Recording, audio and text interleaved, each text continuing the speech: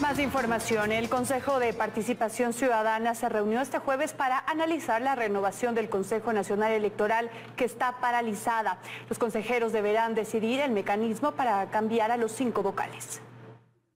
Luego de más de dos meses de estar paralizado, el Consejo de Participación Ciudadana se reunió este jueves de forma reservada para retomar el proceso de renovación del Consejo Nacional Electoral. Hasta los despachos de los consejeros llegó ya el informe de la Dirección Jurídica sobre este tema, tras la aprobación de la Procuraduría, y ahora lo que resta es decidir si se realizan dos procesos en paralelo o al que ya está en marcha se lo transforma de parcial a total. Queremos agradecer a ustedes por los insumos, de aportaciones valiosos que vamos a tener para poder eh, accionar siempre eh, lo mejor para el país, lo mejor para el Ecuador y especialmente para este organismo electoral. Para la vicepresidenta del organismo, Michelle Calvache, en principio debe realizarse otro concurso para renovar a tres miembros y luego unificarse con el ya iniciado en la fase de oposición. La unificación de estos concursos es única y exclusivamente para que eh, avancen ambos procesos hasta la fase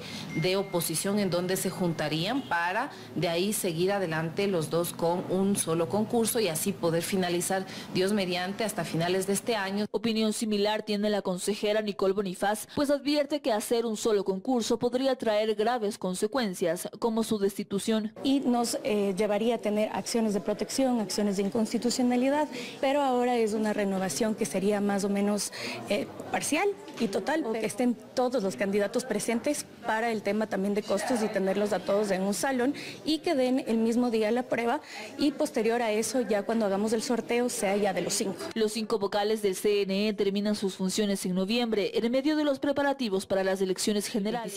Tras esta reunión, el presidente Andrés Fantoni deberá convocar a una sesión del Pleno en la que se anuncie el rumbo del proceso.